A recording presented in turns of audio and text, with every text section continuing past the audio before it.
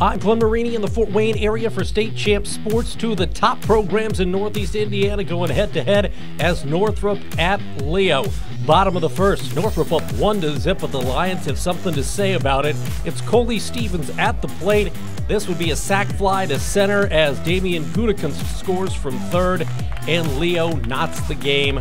We're tied at one apiece. However, Luke Siren, Northrop starter, would settle down. He gets the strikeout. That would end the first, and again, it's a 1 1 ball game. You already saw Coley Stevens do it with a baseball bat. How about on the mound? The starter, who has recently signed to pitch at Indiana Tech, gets the strikeout in the top of the second, and he had himself an evening. Let's go to the bottom of the third. It's Stevens again. This one ripped into right field. It would fall in for a double and bounce off the wall. Stevens a double. Tyler Redmond scores, and it's two to one. Leo now in the lead.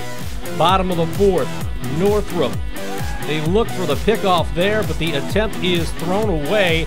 Tyler Papenbrock scores from third as Leo now leads three to one. Top of the fifth, how about Northrop's Taryn White at the plate? He does some damage to shoot one into left. In comes Aaron Smith. That makes it a 3 2 game, but it's Leo going on to win by a final of 5 2 over visiting Northrop.